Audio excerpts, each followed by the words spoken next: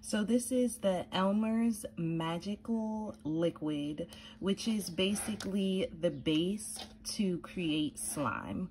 I actually had a slime party, a arts and crafts party for my daughter on her sixth birthday, and they love this stuff. It works out perfectly. You just have to get the measurements right. All you have to do is take a little bit of this and you add it to the traditional Elmer's glue that we all know and love. And um, it, it, creates that slime for you.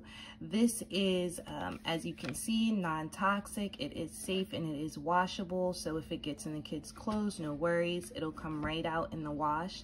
I love this magical liquid because it just makes my life so much easier. Before we had to use contact solution and um, shaving cream and all of these other things that I just really didn't feel safe using around my children and for them to play with. Um, so this is just a lot more simple. It does come in the one quart size. This is more than enough for an entire party. I actually got two bottles, which I didn't even need. This is a, more than enough. And with this, you can make um, buckets and buckets of slime. All the slime that you can ever want.